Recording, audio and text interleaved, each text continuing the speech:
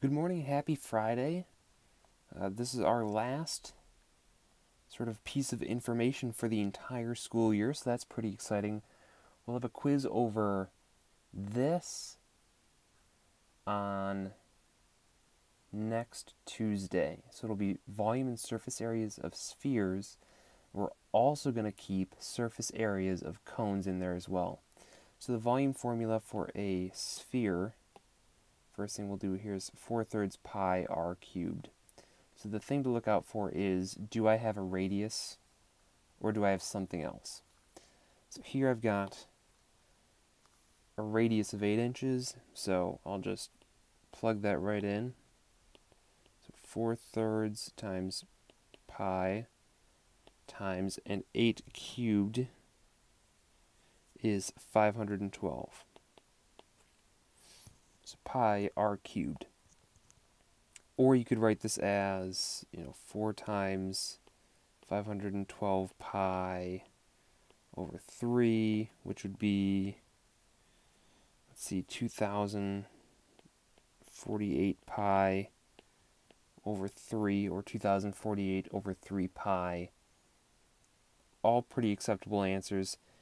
Uh, if you're doing this in decimal form on your Google form, then I would suggest typing all those exact answers into your calculator, getting a decimal approximation, and then seeing which one is going to most closely match yours. But I would suggest doing something like this and then simplifying your um, your fraction over here because you're going to see everything in exact form today.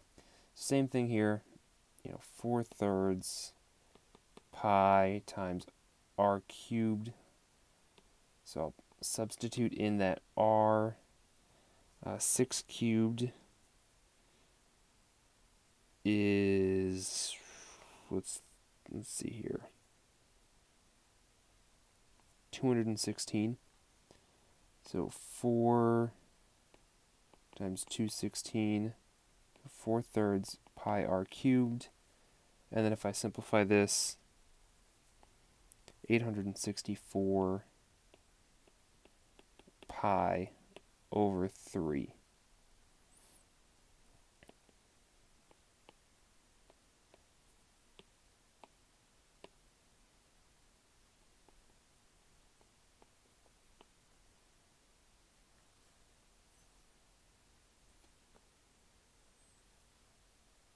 Right, but here the only difference is I don't have a radius.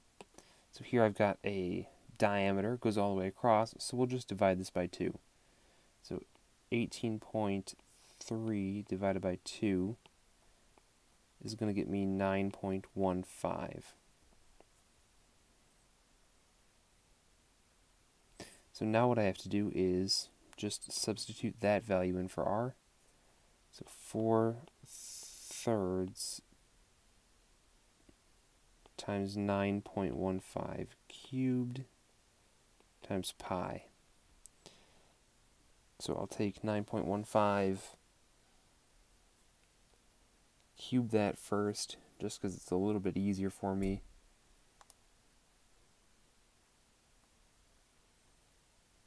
So 9.15 cubed times 4, and that's going to get me approximately 3064.24 pi divided by 3. So again, first step, find your radius, then uh, substitute that value in, and simplify. This one's a little bit easier, fewer decimals. My first step it's going to find that radius. So 40 is the diameter, I'll just cut that in half. So 20 is my radius, so 4 4 thirds pi times 20 cubed. So 8,000 times 4 is 32,000 divided by 3 32,000 pi over 3. Okay, and there are two more scenarios I want to look at. The first one here is what if I'm given a circumference? Well, circumference is 2 pi r. So I want to solve for r here. So what I can do is I can divide off a 2 pi from both sides. And 6 divided by 2 is 3 so my radius is 3 feet. And then just do the same thing. 4 thirds pi r squared is going to be 36 pi over 3 or 12 pi And if you don't want to simplify farther than this, you don't really have to. And last but not least, what if I give you the volume? So this, again, volume is 4 thirds pi r cubed. It's going to be 7,238.23. And what we'll do is, again, we're solving for r cubed. So first thing we can do is we can just divide off 4 thirds and a pi.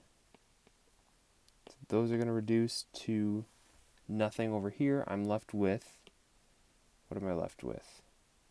Just r cubed. And if I take 7,238.23, divide that by pi,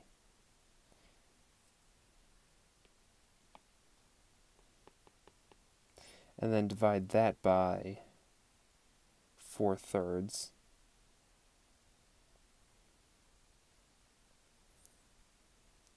Then I'll get about 1,728. Now, r cubed is 1,728. But what is our method for getting rid of an r cubed? You know, what's the opposite of cubing a number? Well, the opposite of cubing is cube rooting. So we'll take the cube root of both sides, and the cube root of 1,728 is 12. So I know my radius is 12. We're going to have two more videos coming at you. One is for surface area of a full sphere. Okay, just one more video coming at you. I don't know why I thought it would be two. So we'll have one more video coming at you for surface area, uh, just to keep these kind of short and separated. And uh,